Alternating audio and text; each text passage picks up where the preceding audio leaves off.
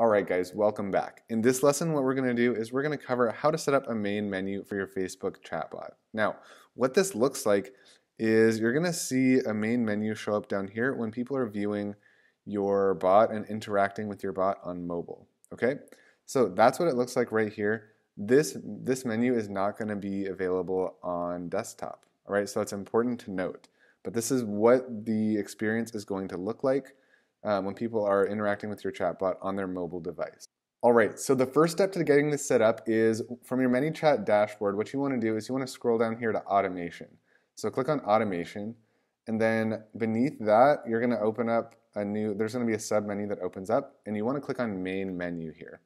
So what the main menu is, you can hover over the question mark, and you can see right here that it's, um, as it says, it's a main menu that's persistent to the menu and is always available to the user. So the really cool thing is that whatever you put down here, these are always going to show up for people who are interacting with your bot no matter what. So you could be sending out a broadcast about a new video you post or a new blog post or uh, maybe a new a new offer that you're putting out, something like that. You can send out messages there, but the one the buttons that you put down here in the main menu will always show up no matter what you're messaging your subscriber list about. So this is very, very cool and very powerful, okay? So what you wanna do is you wanna put your three most important links or your most important actions down here in the main menu. So I'm gonna show you guys how to do that right now.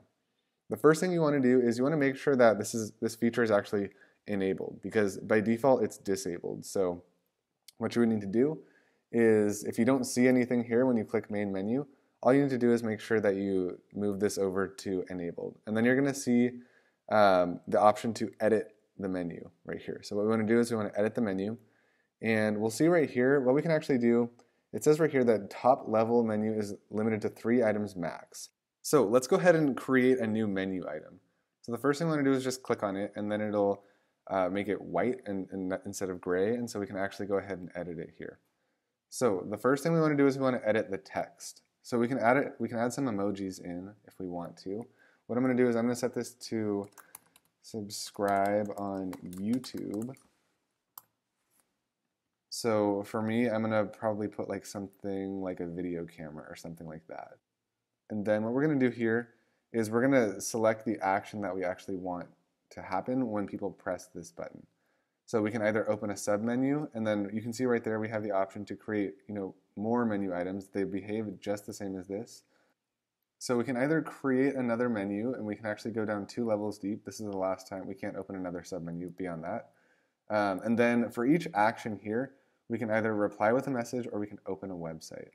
So if you want to, if you want to actually create a new message that you're going to reply to the user with, then you would just click create new message. And then it's going to give you the option to enter the text here. If that's not what you want to do, um, let me get out of this. So if you don't actually want to do that, and it, by the way, if you want to delete a step or a submenu or you accidentally create something that you don't want, you can just click the delete button right here. So for me, for my case, I don't want to create a submenu. I also don't want to, yeah, so I'm going to go ahead and I'm going to delete all this. So what I want to do here is I want to send people to a specific website, right? Because I want to get them to subscribe to my YouTube.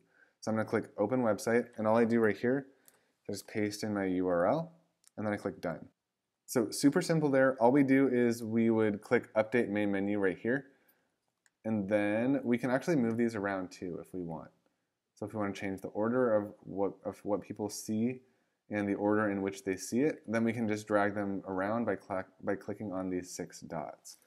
All right, so that's it. That's how you set up a main menu here. And as far as strategy, um, if you're very active on YouTube, I would recommend adding your YouTube. If you have um, like an opt-in to get people to opt into your email list, um, then I would absolutely add that in as well. Or if you've got a blog or something like that. Really, what you want to do is you want to have your three most important, three most important actions or um, places where you can send traffic. You want those included on your main menu. So it might also be one of the one of the chatbot flows to sell your product or to sell your opportunity, okay?